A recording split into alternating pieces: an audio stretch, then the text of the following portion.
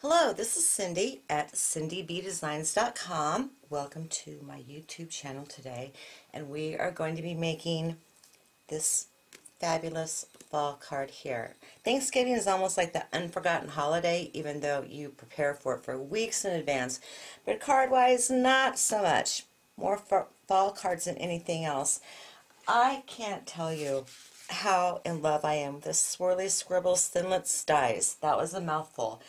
I have done so many beautiful projects with these dies here, and they're just awesome. And I thought that I would share a couple of them with you. Here is a Halloween card that I made, and to get the leaves, that those Thinlits also have like two little leaves in them. Ran them through an embossing folder, just kind of curled them up a little bit so I can get some dimension there. And this is the exact same, no, we're using the mid-size. This is the large one here. And I just made this adorable little pumpkin. And the next one is this really cool Santa, where I used all three sizes of those little scribbles in there to make myself a snowman. So today we're going to be making a fall wreath. And everyone's jumping on the bandwagon of making two cards at one time since you have everything out. I figured I'd go ahead and join that. So as you can see by my card, we have some really cool stuff going on here. And I'm going to show you how to make it. First off, I guess we better go over some supplies a little bit so I can zoom out. You're going to need the swirly scribbles, thinlits dies. We're going to be using Paisleys and Posies for our sentiment of thankful, grateful, blessed. We're going to be doing our sentiment embossing, so you'll need some gold embossing powder. You're going to want to go ahead and grab your hardwood stamp or any kind of large stamp that's, you know, fallish, woodsy, something like that. We're also going to be using Holly Berry Happiness, and all we're doing is using those two little images right there. And this is a Christmas set with coordinating with a coordinating punch, which is great. And I love the position of where this image is on the punch. It's on the edge, and I figured out a way to stamp it and punch it, go on through, and not be able to take up a ton of cardstock. I chose this because if you're mass producing, sometimes it's just a lot easier to use a punch. That's how I feel anyway. You're going to need some scrap pieces of very vanilla cardstock, and you want to keep them in the one inch width range, and you'll see why as we start to punch everything out. Basic materials, Versamark, snail, tweezer scissors. For my sample card here, these little sequins, I save a lot of my stuff from Paper Pumpkin and just throw it in a jar and pull it out when I need it. In the new holiday catalog, there is this great gold twine. We'll be using that. And then for designer series paper, we have, this is Moroccan, and this comes out of the Warmth and Cheer. I love it. I love these colors together, and I can't wait to make this card since I already kind of made this one. So I'm going to have all of the dimensions and measurements and everything like that underneath in the description on YouTube and, and, my, and on my blog at cindybdesigns.com. I'm doing this card for a couple different reasons. For the midweek inspiration over at thepapercraftcrew.com and also for the Card Maker Magazine Card Corner Challenge. I always get that hashtag messed up. And it was to make a card for a veteran and send it out. So I thought, well, let's just go ahead and do three. Let's go ahead and get this started and make some beautiful cards. Already gone ahead and I've done a lot of prep work because both cards are going to be the same but just in different colors. So what you want to do with one of your pieces of Very Vanilla is that you can take your Wink of Stella pen and just use that all the way across there because we want a little bit of shine. Or a couple years ago Stampin' Up! had in one of their holiday catalogs this shimmer spritz and you know if I like something I keep it retired or not so what I'm going to do is I'm just going to shake this up hold it do a couple spritz and it's just going to give you that little background shimmer that I'm really after in these cards that I am making. So we're going to go ahead and set this aside to dry. And the next thing that I want to do is we're going to go ahead and die cut our wreath. I've already gone ahead and done three, but I wanted to show you how to do the fourth one, even though it seems like, okay, this is a no-brainer. But a couple good hints. This is my big shot. I have my magnetic platform underneath here. I have my precision base plate on top. I scored and found a piece of textured soft suede cardstock. I am going to be using that. And this precision base plate, it just really helps you to get, this die is very intricate if you look. It just helps you to get really good, you know, precision cuts. So since I'm going to hoard this, I'm going to maximize my paper. So remember, platform, shim, paper, die, and then just put a cutting plate on top and go through. It's a little bit of a tight squeeze, but it goes through okay. I'm just going to go through one more time.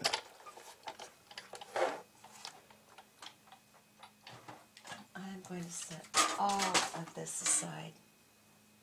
And this is how it comes out of the die. Easy enough to pop all these out of here. All you have to do is use your pokey tool. They come flying right out. If you don't have a precision base plate, grab some parchment paper or wax paper.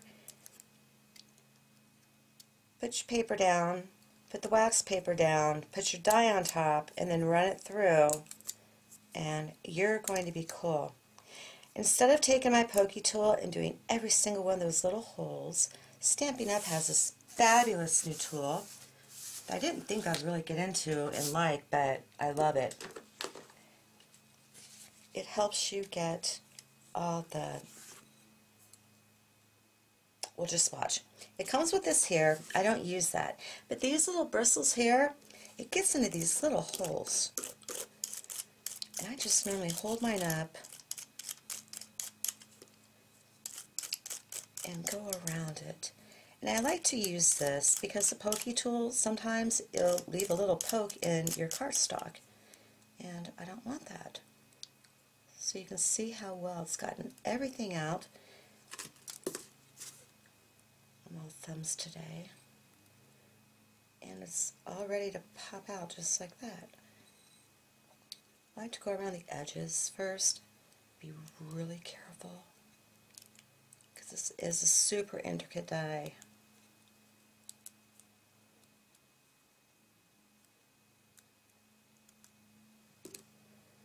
Okay, then I just have two more in there. And I'm glad I found this soft suede cardstock too. It's a great way to add some real subtle texture to your projects without having to pull out an embossing folder. So,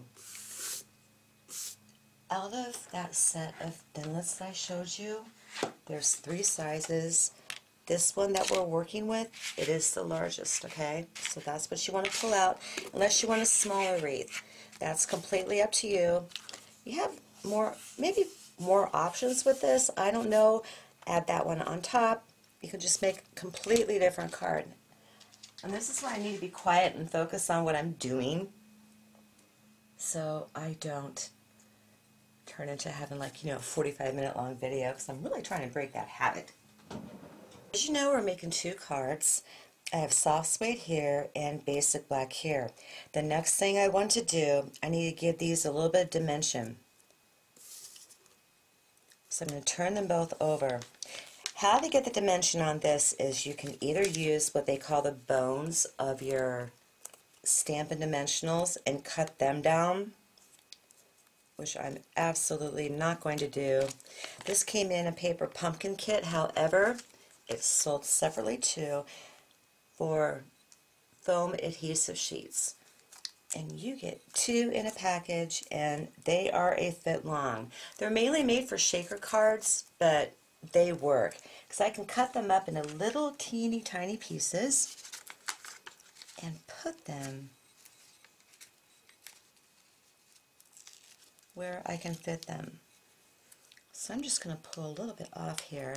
I like to use Teflon scissors so it doesn't gunk up my scissors. And I'm just going to start cutting some pieces, like little teeny tiny pieces. I mean, that one was probably too big. You know, I'll flip it over and take a look. But with the last card that I did, you can get this whole wreath covered very well where it will go, it will stay down for you. Okay. So I am going to go ahead and get my foam adhesive on the back of these wreaths and then I will check back in with you. Okay, as you can see, I have lots of little teeny tiny pieces of foam on the back. I'm going to set these aside. Now on top of our colors of soft suede and basic black, I decided to go along with this color palette for my cards. I'll just give you a little quick sneak peek as to how they're going to look like you saw at the beginning of the video. And it's going to turn out very cool. So what I want to do right now is, let's go ahead and get these together. How I put them together was I got a piece of nine and a half inches by four and three quarter cardstock and then scored it at four and three quarters on the nine and a half inch side for a four and three quarter square card. I said card, but we'll ignore that, right? So I want to get these nice, so I have some good creases here. Figure we might as well start building up a little bit. So we're going to add some adhesive to the back of one of our designer series paper. Again, this is the Moroccan. I have a total supply list at the video and over on my blog at Cindy B Designs. Check the Facebook page for the Papercraft crew and check their blog too. Okay, this grid paper, every quarter inch there's a mark. Since my card is four and three quarters, there's a quarter in there. So how I want to add this, lay this down is I need to use these guides over up here on top there to get this down straight, like these lines and it looks like I'm going to have a good quarter inch clearance on both sides. So we want to check up and down. You get one side down first all the way, like this. Your other side is going to be fine. If there's any overhang anywhere, that's just something that we snip off at the end. I'm going to set these to a side. And we're going to move on to our two vanilla very vanilla panels. I'm going to go ahead and bring in my wood grain background and just set it on my desk. I'm going to go and take my Delightful Dijon ink pad I'm just going to ink it up.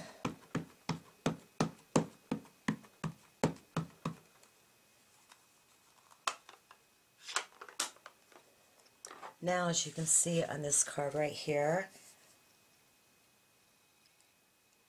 I want this stamped off once. I want a super, super subtle background in here. So, I'm going to grab some scratch paper, just to lay it on top,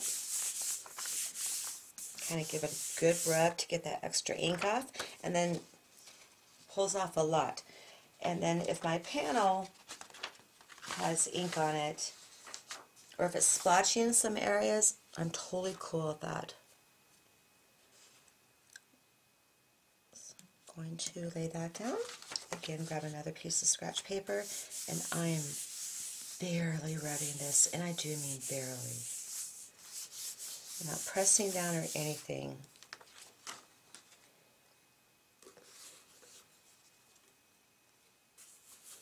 Perfect. That's exactly what I wanted. I'm going to bring it up so you can see it. It just gives me that subtle background that I need for this card right here. I'm going to use Smoky Slate on my hardwood stamp set. Get that inked up. I'm going to do the same thing again. Just going to pull some color off. And as you can tell, I'm rubbing much harder to get this off.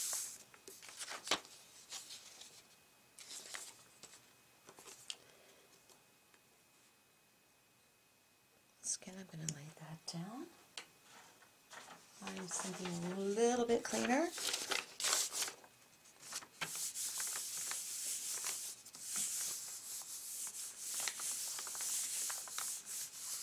felt that having this panel be Dijon would be too much Dijon. This is what I totally wanted. It's really hard for you to see, but it's going to work beautifully. Check that out. I am really thrilled about how that turned out. I like this card better than I do the other card, to be honest with you. So I'm going to go ahead and set this aside. I think what I want to do next is we need to get our sentiments on our panel here. So I already have my mini MISTI out and I put the Thankful, Grateful, Blessed on it from the Paisleys and Posies stamp set. So I'm just going to put my panel up there. Make sure it's in the middle. I need to pull over just a tad. I'm going to pull it over an eighth of an inch.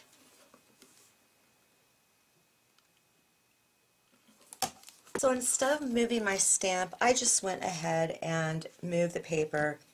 It's in an eighth of an inch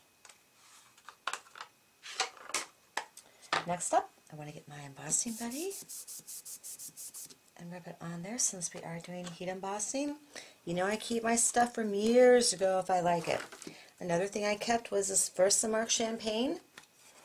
And I'm going to go ahead and add, ink up my sentiment very well. I've had this thing for years and I've never had a refill at once. Lasts forever I'm going to go ahead and close, going to, what is it with my language? Close this, get this a nice press. I don't like want to smash it down too hard because when you have small words like that, if you really smash it down, your letters is going to wick out.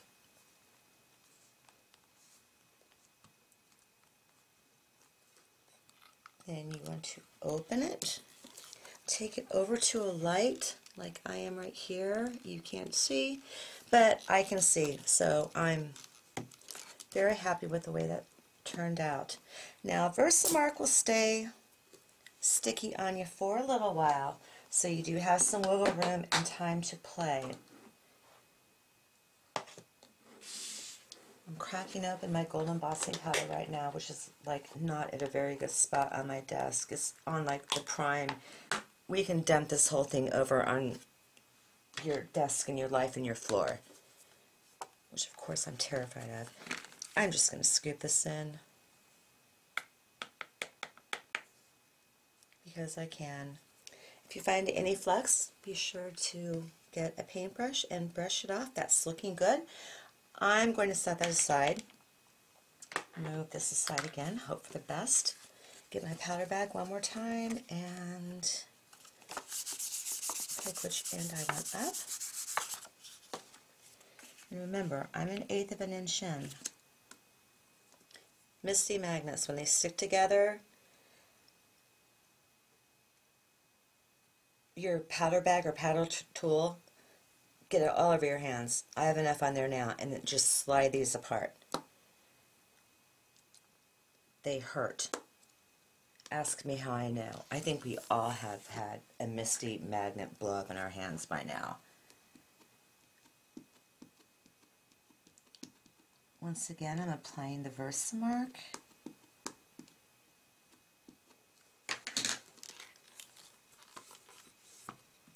Close the door, give that a nice press.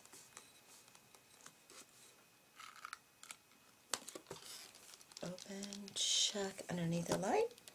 I'm looking pretty good.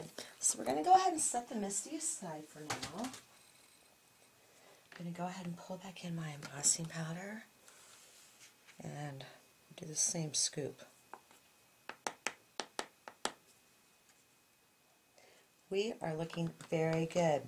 Okay, now that we have that done, just remember, does you have some wiggle room with Versamark. I am going to go ahead and heat emboss this. I am not going to do it on screen. But you all know the process. Let your heat tool heat up a lot so it's nice and hot. And then you want to take it to the front, to the back, until you watch all the powder melt. So I'm going to get that done. And then I will be right back. This is so cool.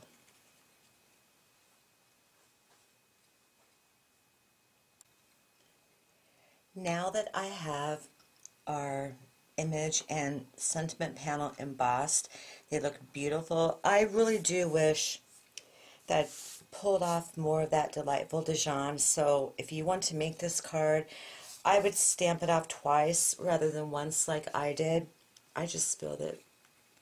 I think it would look better. Because all I was really after was just that really subtle background I got with this. So I'm really happy with how this card turned out. The next thing that you're going to want to do is grab your snail. And since we did heat emboss this, you know there's a little bit of warping going on. And you really want to put some good adhesive at the bottom where we did the heat embossing. Once again, line it up, and I need to zoom in on your grid mat.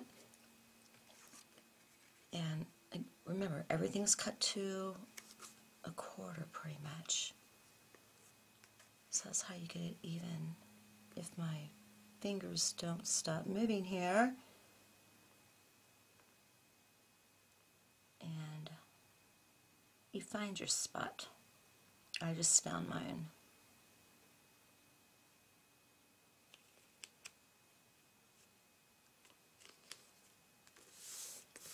Okay, there we go. So you can see how flat that lays from the side. Once I really press it down. See, it turned out great. I'm going to go ahead and do the same thing to this panel and then we'll go ahead and get started working on our little wreaths. So here is how we are looking so far. I think it's pretty cool. Before we get going on the wreaths, let's go ahead and do some stamping. Remember these two images I showed you? I've already gone ahead and I have done stamping for this card because this is early espresso delightful Dijon I kind I really wanted to stay in that same color palette you know the usual neutral and couple colors However, I have not stamped with this one. So I brought in my little piece of paper here that I squirted with the shimmer mist and this one's going to be really different okay so the first thing I want to do you want to put both of your stamps on the block and I want you to see how I have them lined up okay I have oh I gotta phrase this. Like a circle in pointing towards me on both of them. And that's how I got this to turn out really well. And how I got on my sample card them to punch out really well too because of how I stamped them and how I was able to line them up with a punch. It was super easy. So with this, we're going to go ahead and grab our Delightful Dijon and you're going to want four per wreath.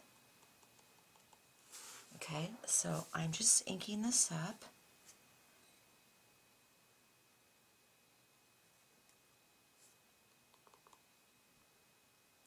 And give yourself a little bit of room.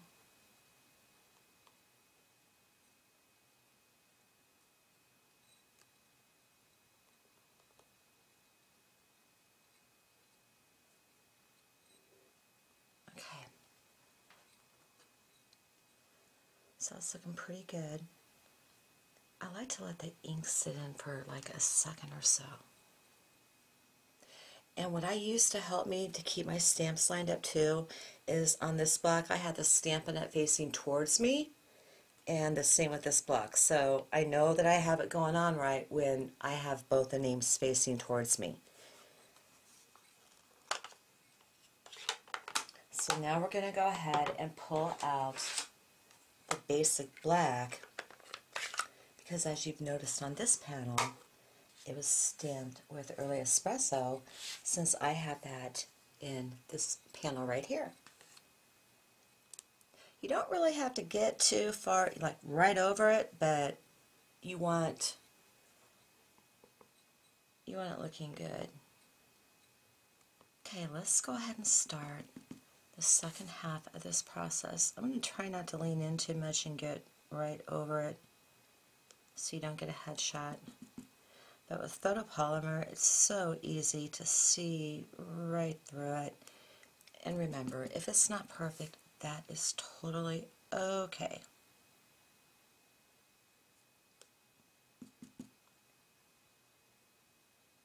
And sometimes I do better not trying to be so perfect. Got it. Awesome. So this is how this looks and you can see that real subtle shine that we have going on too which is perfect. Okay now to get this punched out.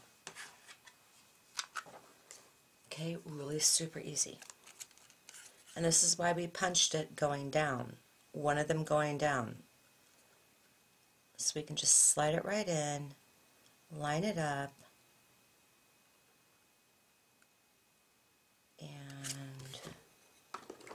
sometimes you gotta cut a little bit.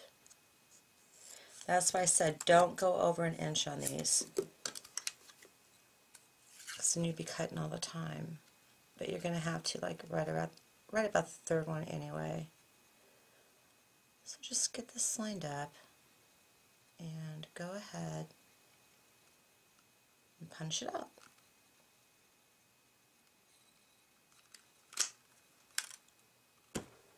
up. There we go. May not be perfect, but you know what? It's going to work. So I'm going to get these other three punched out. Then we're going to move on to the final assembly. I absolutely love how these are turning out so far, and I hope that you do too. Let's get to working on our wreaths a little bit. You know I have all these little foam adhesives on the back, okay? So my wreath is going to go right here. It's going to look beautiful.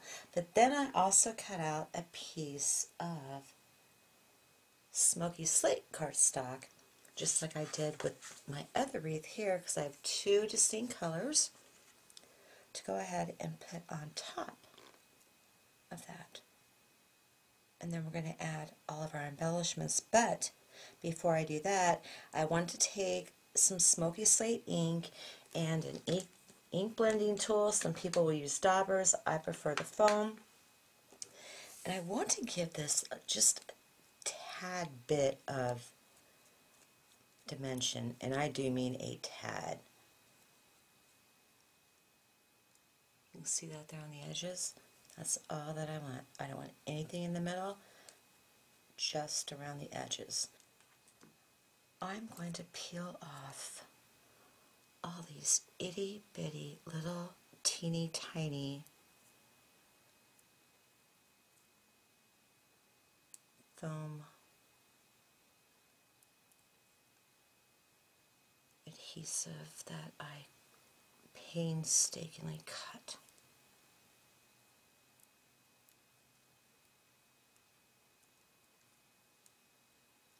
Okay, one more. And I'm going to center that on my card.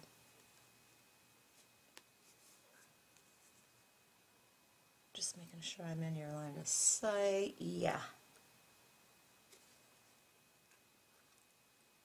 easy as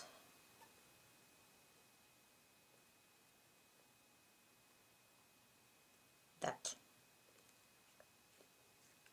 And I put enough on there where it's going to stay. We know that. Next step, I want to grab some matte liquid adhesive. Tombow Mono will be okay. I prefer the matte because if it squirts out, you won't see it because it dries so you don't see it. I am going to put about a million little dots on the back of this little wreath here. A, so it doesn't squirt out. B, it here it, it will adhere really, really good.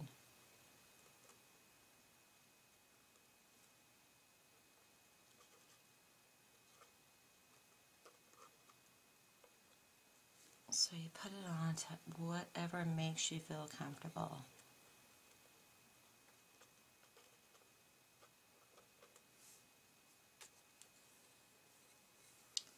And frankly, you gotta work kind of fast because you don't want your adhesive, good, you're in my line of sight, you don't want it to dry.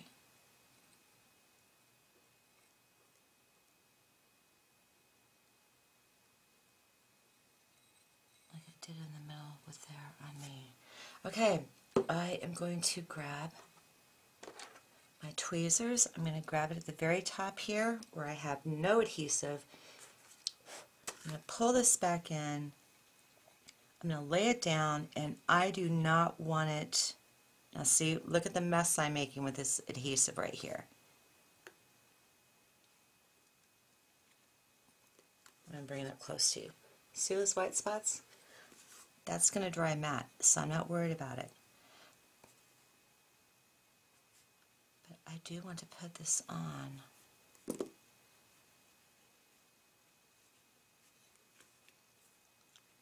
So it sticks. Heavy block, let it set up. It's that easy.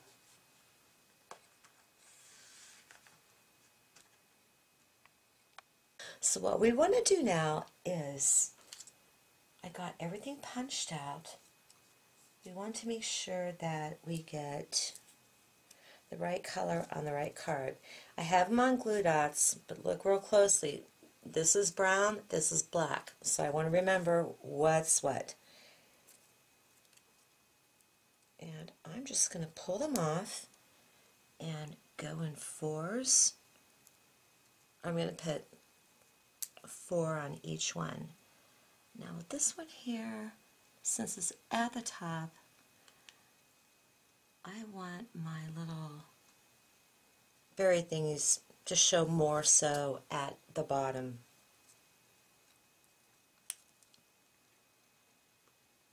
Other than that, I'm not too picky. They're on glue dots, super strong. It's okay if they go in between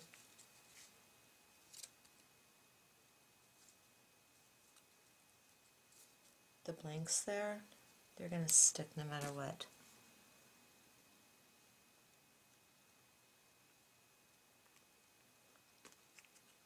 Okay, so that part is done.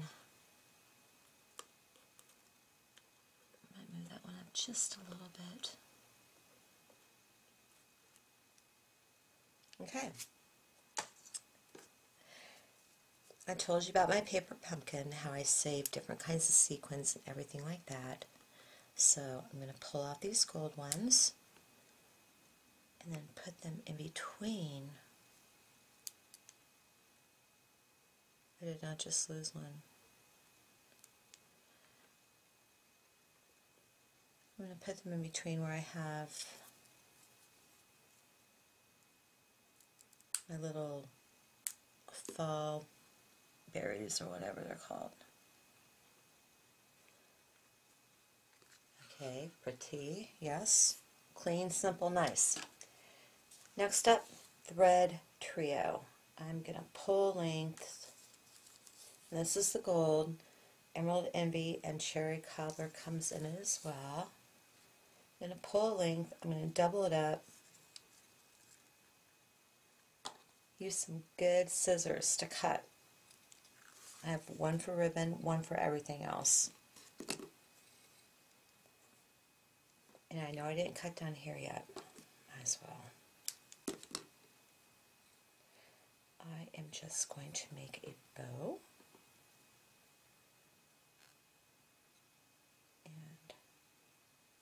Tie it and fiddle with it and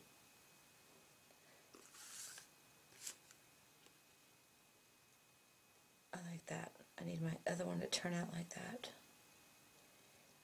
It just depends on the card and where you put your embellishments as far as what size bow is really going to work for you. And it's going to be different with every card, but I'm good with this.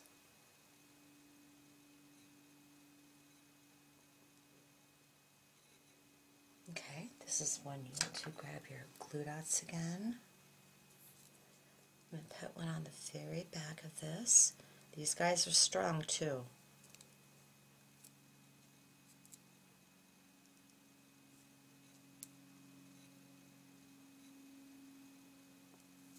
And they can be kind of gooey.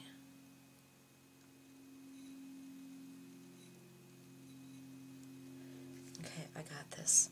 I'm going to put this bow right on top of that. I obviously have strings that are not even. Let's get them looking all cool. And, my friends, this card is done. Okay there, my friends. That's it. We have two beautiful, lovely masculine cards here, but there's just enough bling in there, you know, for us too. So I'm going to bring them close up to you. Looks like I had... Oh, this was that one I lost. Well, when I do pictures, it's going to be just perfect. You know, I really wasn't planning on this one at all, but gotta get it right. Kind of wondering why it's stuck in the first place. Okay, there we go. Now I can say I'm done. So check out this pattern paper and everything in here. Real subtle shine. The gold heat embossing gives it a lot of class despite the deep, dark, masculine colors. We have some dimension going on here by putting the black little wreath on foam adhesive and then adhering the smoky slate over it and just distressing the edges ever so slightly for more dimension. Nice bow. And here is our other card. So again, I hope that you appreciated this tutorial. If you have any questions about anything here, go ahead and contact me through my blog at cindybdesigns.com. If you would like to join my Stampin' Up team, there is a contact form at the top of my blog too on the right where the nav bar is. And if you're interested in any of these products, go to cindybdesigns.com and they will be there available for you that will show up on your doorstep within a matter of days. So also if you want a catalog including the annual catalog as well as the holiday catalog please let me know. If you're in the US I'd be more than happy to send you one off. And don't forget that we have the spring and celebrations starting up, oh wow in six weeks lots of fabulous new products I've gotten a sneak peek of and I think that you are going to love them. So thank you for joining us at the Papercraft Crew and at Cindy B Designs for the mid midweek inspiration with a couple ideas to make some cards for Veterans Day or Thanksgiving. Thank you so much for stopping by to visit me today. God bless, take care, and I will see you again the next time. Bye.